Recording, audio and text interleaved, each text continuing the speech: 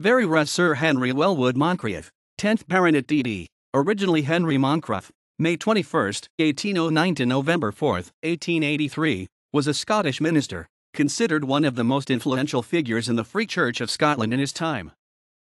Born at 22, Hanover Street in Edinburgh, May 21, 1809, he was eldest son of James Moncrieff, Lord Moncrieff. He was educated at Edinburgh High School and the University of Edinburgh then, April 5, 1827, matriculated at New College, Oxford, where he was president of the Oxford Union, where he graduated with a BA in 1831. While at Oxford, he was on close terms with William Ewart Gladstone. Returning to Scotland, he studied divinity under Thomas Chalmers and was ordained minister of the parish of Baldernock in Stirlingshire in 1836. In the following year, he moved to East Kilbride in Lanarkshire. Moncrieff took part in the controversy which ended in the disruption of 1843. He joined the Free Church in June 1843, and from that day till 1852 he was the minister of Free East Kilbride. He succeeded to the baronetcy and assumed the name Wellwood on the death of his father in 1851. In 1852 he became minister of Free St. Cuthbert's in Edinburgh. His grandfather, Rev. Sir Henry Moncrieff, 1750 to 1827, had passed 50 years of his ministry at St. Cuthbert's Church, Edinburgh.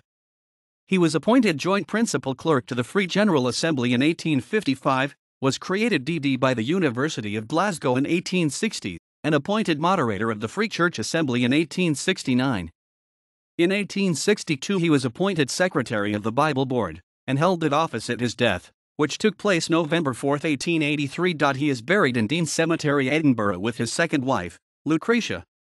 The grave lies on the southern edge of the first north extension, backing onto the original central cemetery.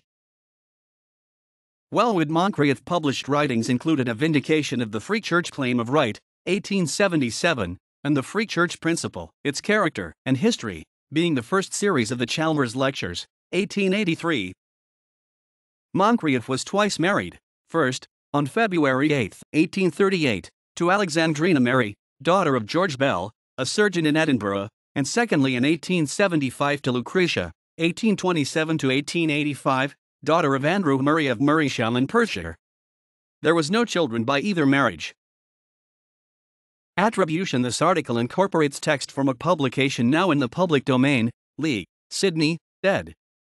1894, Moncrieff, Henry Wellwood. Dictionary of National Biography. 38, London, Smith, Elder & Co.